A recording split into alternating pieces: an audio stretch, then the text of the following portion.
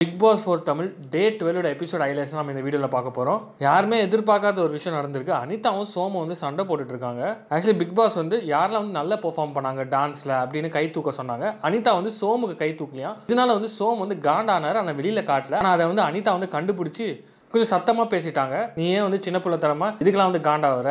எனக்கு வந்து யாருக்கு ஓட் பண்ணுமோ அதான் போடணும் ஃப்ரெண்ட்ஸ்னா ஃப்ரெண்டு தான். ஆனால் கேம்னா கேம் தான். அப்படின்னு வந்து அனிதா வந்து சோம பார்த்து சொல்ல சோம வந்து நான் டென்ஷன் ஆகல அப்படின்னு வந்து சொன்னார். அதுக்கப்புறம் சோம வந்து டென்ஷன் ஆகி கத்த அனிதா வந்து கோச்சிக்கிட்டு வெளியில் வந்துட்டாங்க. அதுக்கப்புறம் சோம் வந்து அனிதாவை சமாதானப்படுத்த போகிறாங்க சாரி அப்படின்னு சொல்ல போனார். அதுக்கு அனிதா வந்து நீ சிரிக்காத அப்படின்னு சொல்லும் போது சோம் அதுக்கு நீ தானே சொன்ன நான் சிரிச்சா நல்லா இருப்பேன்ட்டு. நீ சிரிச்சா நல்லா இருப்பேன் ஆனா பேசினா கேவலமா இருக்க அப்படின்னு அனிதா சொல்ல. அதுக்கப்புறம் சோமு அதுக்கு பதில் சொல்ல டக்குன்னு பேசிட்டு நான் அனிதா அழுவ ஆரம்பிச்சிட்டாங்க.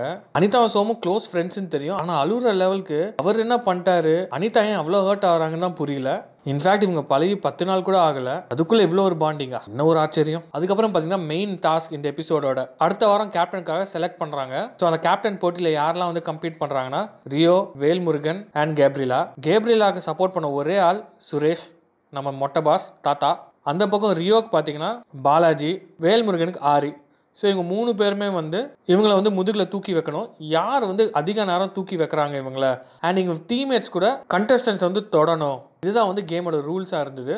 ஸோ இதில் பார்த்தீங்கன்னா சுரேஷும் கேப்ரியலும் எட்டு நிமிஷம் கிட்ட இந்த கேம் ஆடினாங்க. கேப்ரியலா நடுவில் வேணா தாத்தா வேணா தாத்தான்னு சொல்லிட்டே இருந்தார். சுரேஷ் வந்து ஸ்போர்ட்டிவாக எடுத்துக்கிட்டு ஆடினாரு. கண்டிப்பாக இந்த எபிசோடுக்கு அப்புறமா சுரேஷ்க்கு பல மடங்கு ஃபேன்ஸ் வரதான் போகுது. ரொம்ப ஸ்போர்ட்டிவாக எடுத்துக்கிட்டாரு. ஜென்யூனா பேசினா ரொம்ப நேர்மையாக பேசினாரு. கடைசியில் பார்த்தீங்கன்னா கேப்ரியலா இவர் ரொம்ப கஷ்டப்படுறாரு அப்படின்ட்டு கீழே வந்துட்டாங்க.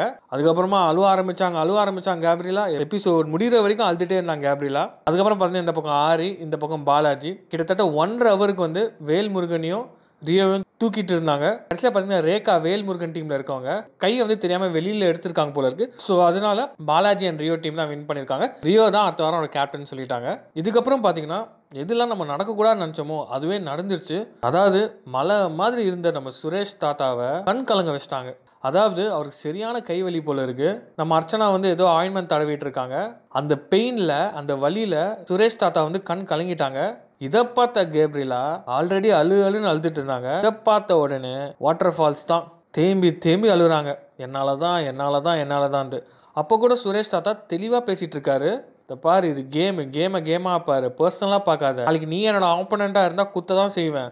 ஸோ நீ இவ்வளோலாம் வந்து ஃபீல் பண்ண தேவையில்லை அப்படின்னு தெளிவாக பேசுகிறாரு உண்மையிலே சுரேஷ் தாத்தா சுரேஷ் தாத்தா தான். நீங்கள் இந்த வீடியோ பற்றி என்ன நினைக்கிறீங்கன்னு கமெண்ட் பாக்ஸில் கமெண்ட் பண்ணுங்கள் இந்த வீடியோ பிடிச்சிருந்தா லைக் பண்ணுங்கள் ஷேர் பண்ணுங்கள் மறக்காமல் வீ டாக் சப்ஸ்கிரைப் பண்ணுங்கள் அப்படி இந்த பெல் ஐக்கானையும் கிளிக் பண்ணுங்கள்